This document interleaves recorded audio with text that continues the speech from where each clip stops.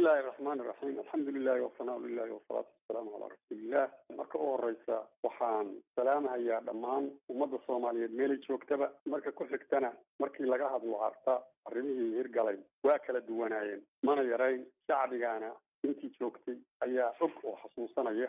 Hadday yihiin shacbiga soomaaliya jooga iyo shacbiga jabuuti jooga iyo dadka soomaalidu meelu joogaba marka waxaan leeyahay arrin aada muhiim u ayay ahayd waana mid aada loogu farxayo ummadda soomaaliyeed ugu farxado ayay maxaa ka mid ahaa marka waxyaabihii adiga intaad xilka haysay kuu hirgelay ee maanta is leedahay allaylehe wax baad qabatay waxay ahaayeen qarannimadii magacii calankii soomaaliya oo dhulka ku dhacay iyo sharafteedii oo la waayey oo qaramada midoobay mar hore laga siibay oo african union ka baxay oo dalalka carabta ka baxay. Inaan soo celinay oo meel walbaba aan tagnay hadday new york tahay hadday adisababa tahay african union hadday qaahiro tahay arab league. Intiiba inta calankii la suray in magacii soomaaliya iyo wafdigii hogaaminayay dadka halkaas u fadhiyahaya intaba in la qabtay. Markaasna sharaftii ummadda soomaaliyeed ay dib u soo noqotay. Waxaa kaloo dhacday in howlo badan la qabtay oo ay ugu muhiimsanayd dadkii dagaalamayay oo qabaa'ilka ahaa in la wada hadal siiyo oo si degan loo heshiisiiyo qorigii iyo xabadii iyo isbaabi'intiina inay joogsato dalkii ka joogsato. Nabadna inuu dalkii noqday oo ay suurtagal noqotay awal xamar dhexdiisaan la isugu socon karin in gobollada dalka inta baabuur la qaati la aado. Tacliintii baa la soo celiyey oo dugsiyadii hoosaa la bilaabay ciidamadii booliiska ayaa la soo celiyey. Dhaqaalihii oo markaas soo kordhay ayaa soo noqday. Arrimahaas oo dhan ayaa la qabtay. Marka waa badnaayeen arrimuhu intaasaasay ugu muhiimsanay dabcan dowladaha iyo markii dad la maamulayo kale maamulkaas caqabadaha ka hor yimaad marka caqabadaha maamulkaagii ka hor yimid maxaa ka mid ahaa caqabadaha maamulkaas ka hor yimid waxaa ugu weynaa qabqablayaashii dagaalka oo dalka iyagu markaa gacantooda ku haystay gobollada iyo degmooyinka inay ka soo horjeesteen dowladda ayaa ugu weynay waxaa dhacday iyagiina in wadahadallo lala galay inta loo yeeray madaxdii qabaa'ilka ay ka dhasheen in la yidhi la hadla inay xoog ula hadleen markaasna inay hubkii inta iska dhigeen. Weliba dowladdii qaarkood baarlamaankii in lagu daray ayaa dhacday. Sidaasna ay ku dhammaatay dhibaatadii ka taagnayd gobollada iyo degmooyinka marka maamulkaagii maxaa ka khaldamay? Maamul kasta waxbaa ka khaldama. Maamul aan dowlad hore jirtaa lahaynna. Dabcan wax kasta ayaa dhibaata u geysanayay. Maamul aan dhaqaale haysan maamul aan haysan ciidamo maamul aan taageere haysan oon laga taageerayn meelna dhibaato kasta ayaa u imaan kartay. Ha yeeshee ilaahay baanu tawakalnay markaasna waa soconnay waxaasoo dhanna dan uma anaan geline ilaahay waa waday. Ilaa haatanna oo labaatan sano ay soo dhaaftana waa ka socota maanta. Madaxweyne cabdulqaasim salaad xasanow waxaad ahayd nin shacab ah. Waxaa la isweydiinaya marka sida aad ugu dhiiratay in hogaamiye kooxeedyadii hubaysnaa ee magaalada muqdisho joogay oo laga yaaba qaarkood inay ku haminayeen inay dalka madaxweyne ka noqdaan inaad adigoo shacaba muqdisho timaadid oo weliba madaxweyne ah.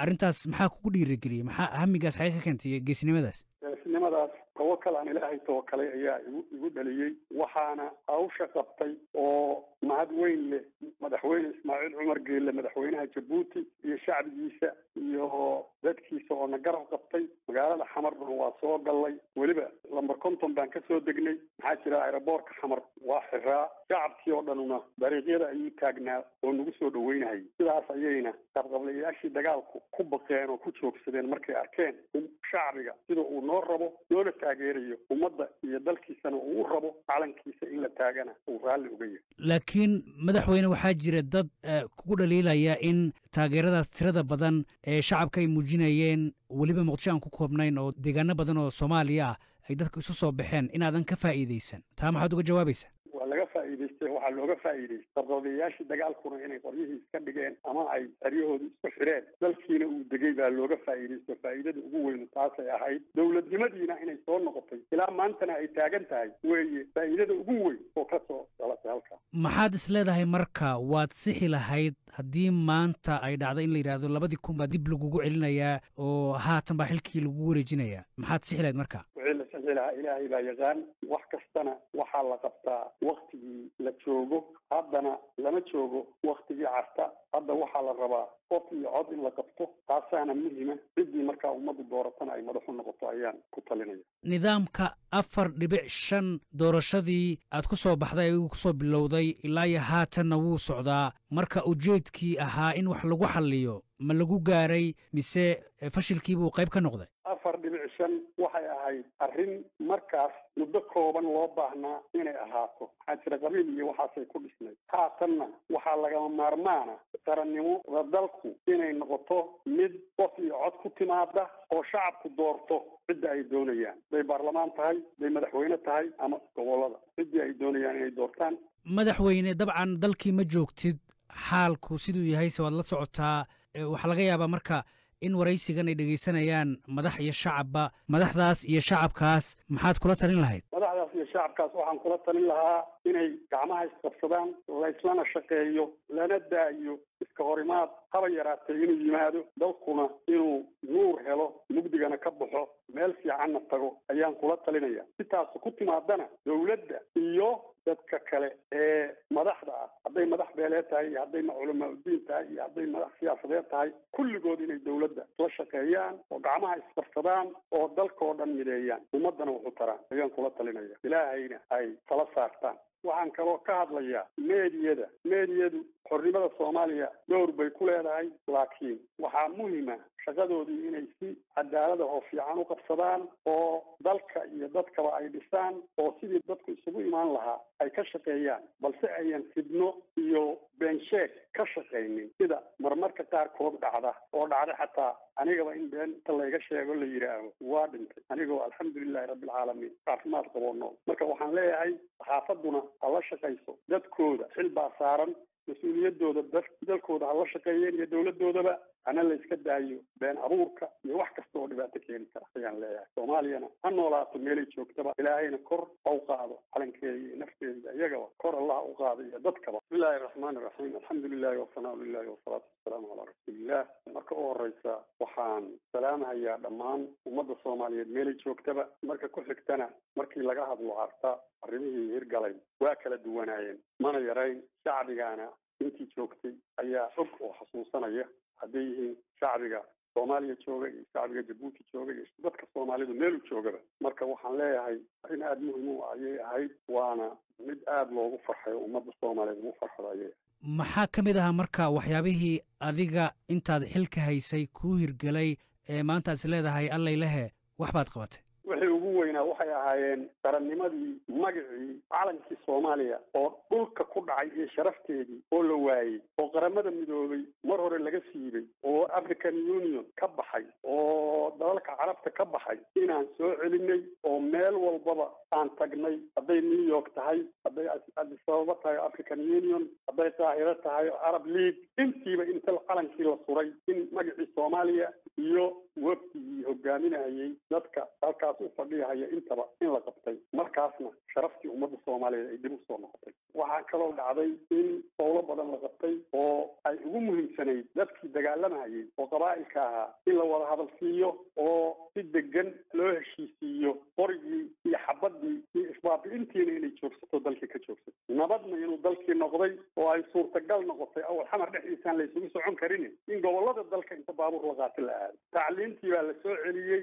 oo dugsiyadii hoosaa la bilaabay. Ciidamadii booliiska ayaa la soo celiyey dhaqaalihii oo markaas soo kordhay ayaa soo noqday. Arrimahaas oo dhan ayaa la qabtay. Marka waa badnaayeen arrimuhu intaasaasay ugu muhiimsanay dabcan dowladaha iyo markii dad la maamulayo kale maamulkaas caqabadaha ka hor yimaad marka caqabadaha maamulkaagii ka hor yimid maxaa ka mid ahaa maamulkaas ka hor yimid waxaa ugu weynaa qabqablayaashii dagaalka oo dalka iyagu markaa gacantooda ku haystay gobollada iyo degmooyinka inay ka soo horjeesteen dowladda ayaa ugu weynay waxaa dhacday iyagiina in wadahadallo lala galay inta loo yeeray madaxdii qabaa'ilka ay ka dhasheen in la yidhi la hadla inay xoog ula hadleen markaasna inay hubkii inta iska dhigeen. Weliba dowladdii qaarkood baarlamaankii in lagu daray ayaa dhacday. Sidaasna ay ku dhammaatay dhibaatadii ka taagnayd gobollada iyo degmooyinka marka maamulkaagii maxaa ka khaldamay? Maamul kasta waxbaa ka khaldama. Maamul aan dawlad hore jirtaa lahaynna dabcan wax kasta ayaa dhibaata u geysanayay. Maamul aan dhaqaale haysan maamul aan haysan ciidamo maamul aan taageere haysan oon laga taageerayn meelna dhibaato kasta ayaa u imaan kartay. Ha yeeshee ilaahay baanu tawakalnay markaasna waa soconnay. Waxaasoo dhanna dan uma anaan geline ilaahay waa waday. Ilaa haatanna oo labaatan sano ay soo dhaaftana waa ka socota maanta madaxweyne cabdulqaasim salaad xasanow waxaad ahayd nin shacab ah. Waxaa la isweydiinaya marka sida aad ugu dhiiratay in hogaamiye kooxeedyadii hubaysnaa ee magaalada muqdisho joogay oo laga yaaba qaarkood inay ku haminayeen inay dalka madaxweyne ka noqdaan inaad adigoo shacaba muqdisho timaadid oo weliba madaxweyne ah. Arrintaas maxaa kugu dhiirageliyey maxaa hamigaas xagee ka keentay geesnimadaas? Geesnimadaas tawakal aan ilaahay tawakalay ayaa igu dhaliyey. Waxaana hawsha qabtay oo mahad weyn leh madaxweyne ismaaciil cumar geelle madaxweynaha jabuuti iyo shacbigiisa iyo dadkiisa oo na garab qabtay. Magaalada xamarna waa soo gallay. Weliba lamber konton baan ka soo degnay. Maxaa jira aeroboortka xamar? Waa xiraa. Shacabkii oo dhanuna dariiqyada ayuu taagnaa oo nagu soo dhaweynahayay sidaas ayayna qabqablayaashii dagaalku ku baqeen oo ku joogsadeen markay arkeen shacbiga sida uu noo rabo. Noona taageerayo ummadda iyo dalkiisana uu u rabo calankiisa in la taagana uu raalli uga yahay. Laakiin madaxweyne waxaa jira dad kugu dhaliilaya in taageeradaas tirada badan ee shacabka ay muujinayeen weliba muqdisho aan ku koobnayn oo deegaano badan oo soomaaliya ah ay dadku isu soo baxeen inaadan ka faa'iidaysan. Taa maxaad uga faa'iidaystay waxaa looga faa'iidaystay qabqabayaashii dagaalkuna inay qoryihii iska dhigeen ama ay qaryahooda isku xireen. Dalkiina uu degay baa looga faa'iidaysto faa'iidada ugu weyn taasay ahayd dowladnimadiina inay soo noqotay. Ilaa maantana ay taagan tahay weeye faa'iidada ugu weyn oo ka soo dhalatay halkaa maxaad is leedahay marka? Waad sixi lahayd. Haddii maanta ay dhacdo in la yidhaahdo labadii kun baa dib lagugu celinayaa oo haatan baa xilkii lagugu wareejinayaa. Maxaad sixi lahayd marka lahaa ilaahay baa yaqaan wax kastana waxaa la qabtaa waktigii la joogo haddana lama joogo waktigii carta hadda waxaa la rabaa qof iyo cod in la qabto taasaana muhima ciddii markaa ummaddu dooratana ay madaxu noqoto ayaan ku talinaya nidaamka afar dhibic shan doorashadii aad ku soo baxday ayuu ku soo bilowday ilaa iyo haatanna wuu socdaa. Marka ujeedkii ahaa in wax lagu xalliyo ma lagu gaaray mise fashilkiibuu qayb ka noqday afar dhibic shan waxay ahayd arrin markaas muddo kooban loo baahnaa inay ahaato. Maxaa jira qabiil iyo waxaasay ku dhisnay. Haatanna waxaa lagama maarmaana qarannimada dalku inay noqoto mid qof iyo cod ku timaada oo shacabku doorto cidda ay doonayaan. Hadday baarlamaan tahay hadday madaxweyne tahay ama gobollada. Ciddii ay doonayaan inay doortaan. Madaxweyne dabcan dalkii ma joogtid. Xaalku siduu yahayse waad la socotaa. Waxaa laga yaabaa marka in waraysigan ay dhegaysanayaan madax iyo shacabba madaxdaas iyo shacabkaas. Maxaad kula talin lahayd? Madaxdaas iyo shacabkaas waxaan kula talin lahaa inay gacmaha isqabsadaan layslana shaqeeyo lana daayo iska horimaad haba yaraatee inuu yimaado dalkuna inuu nuur helo mugdigana ka baxo meel fiicanna tago ayaan kula talinaya si taasu ku timaadana dowladda iyo dadka kale ee madaxda ah hadday madax beeleed tahay iyo hadday culamaauddiin tahay iyo hadday madax siyaasadeed tahay kulligood inay dowladda la shaqeeyaan oo gacmaha isqabsadaan oo dalkao dhan mideeyaan. Ummaddana wuxu taraan ayaan kula talinaya ilaahayna ay tala saartaan waxaan kaloo ka hadlayaa meediyada. Meediyadu xornimada soomaaliya dhowr bay ku leedahay laakiin waxaa muhima shaqadoodii inay si cadaalada oo fiican u qabsadaan oo dalka iyo dadkaba ay dhisaan oo sidii dadku isugu imaan lahaa ay ka shaqeeyaan balse ayan fidno iyo beensheeg ka shaqaynin sida marmarka qaarkood dhacda oo dhacda xataa anigaba in beenta layga sheego la yidhaaho waa dhintay. Anigoo alxamdulilahi rabbilcaalamiin caafimaad qaboo nool marka waxaan leeyahay saxaafaduna ha la shaqayso dadkooda xil baa saaran mas'uuliyadooda dalkooda ha la shaqeeyeen iyo dowladoodaba hana la iska daayo been abuurka iyo wax kasta oo dhibaato keeni kara. Ayaan leeyahay soomaaliyana ha noolaato meelay joogtaba. Ilaahayna kor ha u qaado calankeeda iyo nafteeda iyagaba kor allah u qaado iyo dadkaba